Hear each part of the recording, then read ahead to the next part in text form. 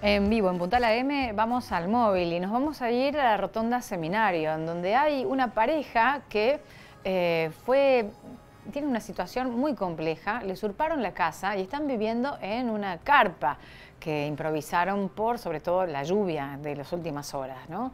Eh, Maricel y Lucas son pareja, están con nuestro móvil para contar la odisea que han vivido en estos últimos días. Marce, adelante ustedes, los escuchamos. Muchísimas gracias, Pauli. Estamos en plena rotonda seminario, pasando a Marcelo T. Alvar, Alvear, pasás la rotonda y al lado de la mujer alada, eh, ya hace unos días que está eh, esta pareja, Maricel y Lucas, viviendo en condiciones verdaderamente infrahumanas. Eh, con ellos vamos a estar dialogando y recogiendo testimonio. Bueno, muchísimas gracias por, por recibirnos. bueno, Lucas, cuéntenos cómo es su situación. Bueno, no, en realidad la estamos pasando muy mal porque ya hace dos meses que estamos de acá para allá, no, encontramos una solución. Eh, eh, armamos precariamente una carpa, ¿no es cierto?, con una lona, pero anoche fue increíble la lluvia, se nos mojó todo el colchón, se nos mojó adentro. Eh, teníamos de un lado, después bueno el viento medio que se nos voló un poco. y bueno, la estamos pasando mal, ¿vio? no nos alcanza por ahí el, sueldo para, para, un alquiler nos piden muchos requisitos y se nos complica eso también. Y bueno, y, hacemos lo que podemos, lo único que queremos, ¿no es cierto?, que nos den un trabajo, algo para cuidar, o lo que más pedimos es trabajo, ¿no es cierto? Y bueno, y un lugar, aunque sea una pieza o algo medianamente que no, tan caro para tener, porque no podemos vivir más. ¿sí? La social nos brindó ayuda, nos brindaron ayuda. Eh, a mí el gobierno me paga una pensión de, ¿cuánto? De 100 mil pesos porque tuve problemas de niña. Este, y bueno, me ayuda con eso el Estado, pero no alcanza con 100 mil pesos, para, porque hoy en día en el alquiler te piden garantías, teléfono, no tenemos nada de eso, eh, muchos eh, requisitos, ¿no? que todos lo sabemos. Y, este, y bueno, se me imposibilita eh, poder alquilar. no obstante, bueno, estamos acá, igual nos ayudan con el bolsón, de mercadería. Eh, Sociales lo que nos dicen es que no, que no, la solución nuestra es un hogar donde ella bueno pasó muchas situaciones complicadas ahí, donde no, no, puede estar, sí, porque bueno, por causa de abuso y situaciones que pasaron, entonces le, le cuesta estar, adaptarse a ese lugar, ¿no es cierto? Le trae recuerdos.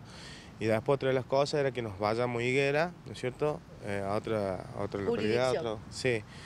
Y no es la solución, me parece. Y si no, que nos fuéramos a la Witoc a, estar allá habitando, ¿no es cierto? Y bueno, me parece que tampoco es la, solución. Nosotros lo que buscamos es que sea una pieza y un baño, ¿no es cierto? Yo soy peón del baño, ¿me entiendes? Y, lo que pueda colaborar, lo que sea, ¿no es cierto? Para, para poder tener un lugar medianamente. Ahora se viene... que quieren un trabajo, en definitiva. Exactamente, un, trabajo. Sí, sí, sí. Marce, ¿me escuchás? Y bueno, después las cosas eh, de a poco irla, irla retomando porque se nos destruye todo. Y al ir de acá para allá, en distintos lugares, que primero estuvimos abajo de la parroquia de la Merced, bueno, ahí estuvimos también un tiempo, eh, después estuvimos al frente de la maternidad Cowal, abajo un árbol, donde ahí nos picaron bichos, a mí no sé qué bicho me picó también, que bueno. o sea, corremos el riesgo de todo, ¿no es cierto? Había ratones, roedores, había un montón de cosas. Y bueno, y ahora estamos acá medianamente, que, que hay más luz, porque ella no puede estar sin luz todo un tema. Y, bueno, lo que buscamos sí es trabajo, eh, es aunque sea salir adelante de todo esto y, bueno, nada más que eso. ¿vio? Pauli, te escucho. Eh, quiero ir por parte para poder entender cómo llegaron a esta situación, porque le habían usurpado una casa, conocer a dónde estaba esa casa, si eran titulares de la casa, si eran inquilinos, cómo es que perdieron su, casa y, y tuvieron que improvisar con esta carpa, para la cual ahora están pidiendo ayuda porque no pueden vivir en esas condiciones, nadie puede vivir en esas condiciones eh, durante tanto tiempo, hace más, de dos meses que están en esas condiciones esta pareja. Conocer esto, ¿no? ¿A dónde tenían la casa? ¿Dónde estaban viviendo? ¿Y cómo fue usurpada la casa? Bien, eh, nos pregunta Pauli de Estudios, ¿cómo, ¿cómo fue que llegaron a esto? ¿Ustedes tenían una casa, esa casa fue usurpada? Hola Pablo, muy buen día. Eh, sí, mira, en realidad nosotros, yo tenía una casita que me había dejado mi abuela, que era también un, un lugar que teníamos nosotros, que tuvimos un año y medio ahí. Y cuando nos fuimos a hacer un tratamiento de ella a Córdoba, ¿no es cierto? Eh, nos encontramos con que nos habían cambiado cerradura, nos habían puesto candado en, la, las persianas, todo. Y cuando entro, viste, yo hice la denuncia todo, eh, me encontré con que habían tres tipos, viste, medio mafioso el tipo, porque en realidad salieron con un cuchillo, todo. Y bueno, eh, me dijeron que no, que me fuera, que me tenía aquí, que esto que lo otro, yo voy, hago la denuncia en la policía, muestro la escritura, todo, y ya habían niños adentro y ya no, se pudo hacer nada con eso. Después lo dejé en manos de, bueno, de mi mamá, viste, todo eso. Eh, después no sabe, no, no, sabe qué iba a hacer ella porque los tipos no querían salir. Eh, la casa está en Vicente López 1412 y, y bueno, entonces ¿Alguien quedó, quedó en la nada, o sea, quedó, viste, yo se lo dejé en el tema de mi mamá, eso. Y bueno, y, bueno, y todo un tema, así que nos, nos, quedó otra que salir nosotros. Yo con lo que gano, viste, no es mucho, alquilamos algunos días, otros días, después se nos hizo sostenible porque nos pedían muchos requisitos y cosas. Así que bueno, decidimos armar algo y pero lo que más queremos es un trabajo que nos dignifique y que nos ayude a construir, ¿no es cierto? O sea, desde ese episodio en calle Vicente López hasta acá han ido estando en diferentes lugares. Exactamente, hemos estado en, la, parroquia La Merced, abajo, que ahí también cuando cubría un poco la lluvia, pero bueno, ahí también el padre no, no, quisimos estar mucho porque no, era un lugar para estar. De ahí nos fuimos al frente de la maternidad, un descampado, al frente de la maternidad Cowal. En el frente de la maternidad Cowal eh, estuvimos bajo un árbol que ahí empezaron a crecer yuyo también, todo, y se empezó a llenar de... De distintos lugares. Sí, en distintos lugares en realidad. Y hoy, bueno, vinimos acá, vinimos a esta parte, ya hace dos meses que estamos aproximadamente acá. Y bueno, estamos luchando, mal que mal teníamos el colchón antes sin esto, sin la parte del par de la carpa, nada. Pero bueno, nos armamos un poco gracias a unas personas que nos acercan una lona.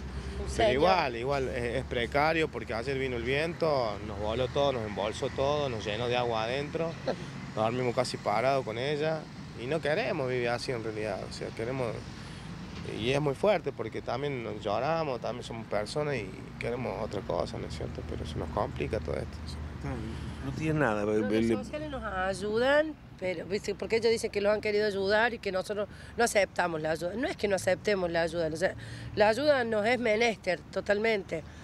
Pero, o sea, ellos nos ayudan con este, de este modo, de que yo vaya al hogar, en donde a mí cuando era niña, yo soy la niña madre, Azucena Maricela Andrada me llamo, yo a mí en el hogar este, me violaron cuando era chica, fruto de esa violación tengo una beba, eh, con 11 años la tuve a la bebé, y todas las secuelas de volver al lugar a mí me, cuestan. Está bien, nos quieren ayudar para que nosotros, está bien, han cambiado la reforma, se ha reformado el lugar, pero yo siento eso porque yo conozco las paredes de ese lugar. Entonces no vuelvo por eso. Y otra, este, sí, nos ayudan con, este, con el dinero este que me está ayudando, gracias a Dios, el gobierno, pero no me alcanza porque ustedes saben cómo está la situación hoy y cómo los requisitos que nos piden y aparte están por las nubes los alquileres. Y bueno, y así sucesivamente. De todos modos, no quiero nada de arriba. Si hay un trabajo en donde podamos estar los dos también, o para ayuda de campo, ya que no tenemos bebés chicos, no podemos tener, para ir al campo, para trabajar, para lo que sea, estamos dispuestos.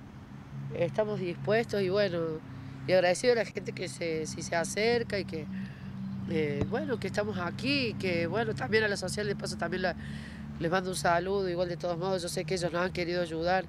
No es que no hemos querido aceptar, como vuelvo a repetir, pero las circunstancias son estas, viste, las que te comenté. Que yo ahí en el lugar ese no, no me gusta volver porque queda adentro de uno lo, que yo pase.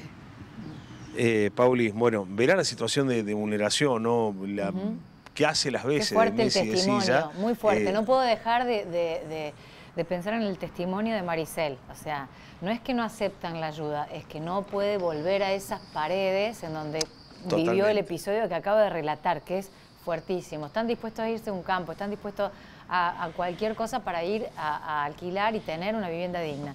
Eh, era conocer un poco la historia detrás de, esto, ¿no? del rostro, de, esta improvisación de, esta carpa. Perdón que te interrumpí, Marce, pero me quedé como muy conmovida. No, no, totalmente. La, situación de, crudeza del relato, de haberlo vivido, de poder ponerlo en palabras, porque mm. también está eso, Pauli, ¿no? Eh, toda la situación que, particularmente le tocó vivir a Maricel, poder ponerle en palabras, poder ponerle en situación. eh, exponerse a esa vulnerabilidad, como lo está haciendo casi de manera descarnada, en los medios este, es un es algo muy valioso, me parece. Te decía, y esto anecdóticamente, ¿no? Cómo se puede llegar a aprovechar hasta un, hasta un banquito y una, y una mesa, ¿no? De cómo puedes, de, de, esto que es habitualmente un, un, paseo de la rotonda al lado de la, de la mujer alada, lo que está en inmediaciones, vaya, este, la mención para que la gente se ubique. De estructura de Raquel, lo decimos allí al em, lado. ¿Hay un teléfono de, ese, negocio que conoce todos? No hay, no hay ningún teléfono de contacto. No, no, no. toda, toda ayuda que se pueda hacer es viniendo hasta acá. Porque no, no, no tiene nada los chicos, este, con lo cual toda la posibilidad para aquellos que están viendo, escuchando, es acercarse a la rotonda seminario, al lado de la mujer alada, los chicos hace dos meses que están en esta circunstancia eh, y que vienen pernoctando en diferentes lugares, tal cual lo decía Lucas, ¿no? Por ahí tienen la posibilidad de pagar una o dos noches en un lugar, dormir mejor, pero eh, obviamente la, situación en la cual eh, están inmersos y, cómo viven hacen que necesiten absolutamente de todo, ¿no? de hecho... Van, al, van al baño a otro lugar, este, pernoctan así de esta manera, eh, una, una, situación verdaderamente infrahumana que le está tocando atravesar en este momento de, plena vulneración. Bueno, eh, la visibilización de alguna manera ayuda, es un paso, así que ojalá que de, esta nota surjan cosas que puedan ayudar a esta pareja, Maricel y Lucas. gracias chicos, hasta luego. Abrazo grande. Hacemos una pausa en Punta la M y luego continuamos.